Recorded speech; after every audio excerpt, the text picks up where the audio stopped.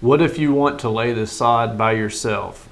Uh, the first question you would have to you would have to ask yourself: Do you do you have a access to a pickup or a trailer or an SUV that's capable of picking up uh, from our yard the amount of sod that you wanted? Uh, we we recommend no more than a half pallet or 225 square feet in a half ton pickup, and then at least a three quarter ton or bigger, say an F250 or 350 or the Chevrolet 2500 plus. Uh, or, or a trailer that, that's capable of carrying the weight to pick up more than at a pallet or more. Uh, so if you do have the capacity to do that, great. Come and get it. You save yourself the delivery cost.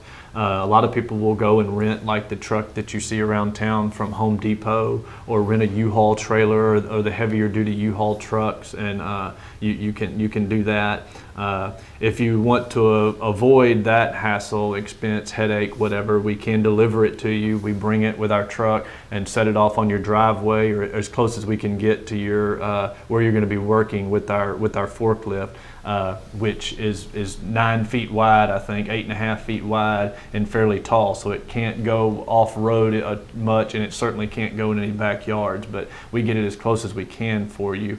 Uh, but I guess so. So that's the getting the, getting the grass to the site. That's step one. But then you have to uh, you, you would definitely I would say a, a wheelbarrow would be would be a worthy investment.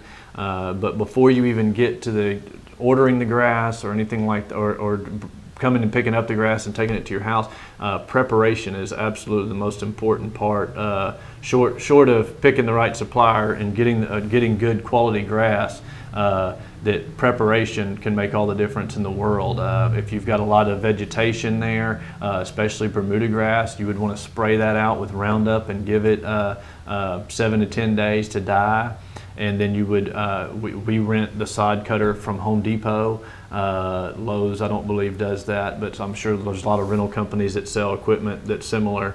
Uh, and you have to you have to go and you the machine cuts out a 16 inch swath uh, every pass that you make, and uh, then you basically roll that up and haul it off, and then uh, you, you, need to smooth the area out. Some people, in order to cut cut some time and expense, they'll still do the roundup, but then they'll just take a weed eater, a big gas-powered weed eater, a heavy-duty one, and and cut that grass down as low as you can get in your backyard uh, or, or, front yard, for that matter, uh, and and then lay the grass down on top of that. As the what we tell everybody is the, the, the, more dirt on dirt contact, so the bottom of the piece of grass versus the ground, the more dirt on dirt contact you can get, uh, the less chance there is for air pockets to form in there. Uh, when air pockets form, when the little when the new little white roots start to grow out in a week or so, if they hit air pockets, they die. So uh, the, the more more dirt on dirt contact you can get, and the that and that's also another one of the reasons that we mentioned watering heavily up front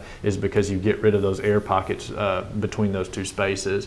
And uh, but preparation is very important. Uh, and like I said, before you even get to the stage of, of ordering grass, you need to make sure that all the vegetation and debris is gone, uh, that, that your sprinkler heads are marked if you have those and uh, that, that, your irrigation system or you have you it, it's also real important if, if you don't have an irrigation system making sure that you have hoses and sprinklers laying there waiting because as soon as you lay that grass especially the hotter parts of the year it's very important for you to uh, to, to follow that up with, with lots of water and not wait a day or two. Or it, uh, if you try to do this in July and wait a day or two, the grass probably would not survive uh, if you didn't follow it up with water within uh, within a day or two for sure. But like I said, we recommend following it up with water immediately. As soon as you drop that piece of grass on the ground, uh, the faster you get uh, water on it, the better. And uh, and, and so after you get it laid, some people would ask if do I need to roll it. Uh, we, we, with our grass, some people roll some of the grass that's not quite the quality of ours. Uh, it might have frayed edges and whatnot, so they roll it. The reason they roll it is to keep push those frayed edges down. You don't have that issue with ours. Uh, if you just water it enough those first couple of days, and, and, and if it's a hotter part of the year, those first couple of weeks, uh, you, you don't need to roll or anything like that. Uh, so that, that would be the other uh, thing. I would also, if, if, if I was thinking about doing this project myself, I would say a worthy investment would be a good machete in addition to renting, renting or buying that wheelbarrow because it's a lot easier to lay your grass neatly and, and make neater cuts with a machete than it is with, with a shovel or, or, or something something else. That that would that would be something that I would recommend as well.